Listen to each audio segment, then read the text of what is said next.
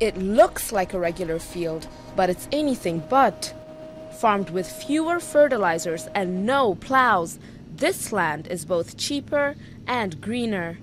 Indiana farmer Mike Starkey is a convert to no-till agriculture. Traditional tilling turns up the soil, loosening it up and removing weeds. But it can also kill off some organic life and the nutrients beneath. No-till or conservation farming helps rebuild that nutrient base, breaking farmers' dependence on chemical fertilizers. Over a period of 12 years, uh, now we're 100% no-till.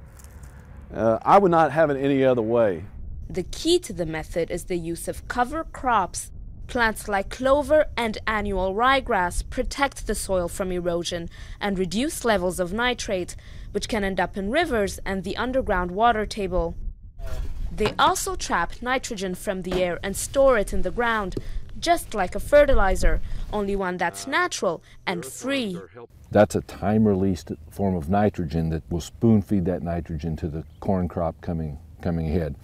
But not every farm can go till free, and those that do may still have to rely on herbicides to control weeds.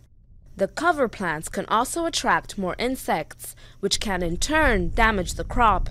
Still, it's how about 35% of U.S. crops are now grown, as farmers reap the benefits of saved time and money.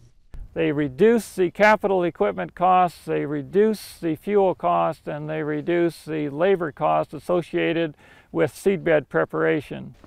It also helps that the U.S. government subsidizes up to 50% of the special equipment costs, an attractive incentive for advocates who say it's better large scale farming for a better planet.